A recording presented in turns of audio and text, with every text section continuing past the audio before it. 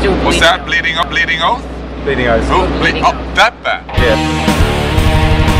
That band. Are you ready? I mean, they wouldn't been around if it wasn't for me.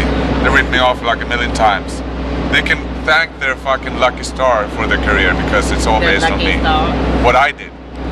Fuck off Bleeding Oath. Fuck off.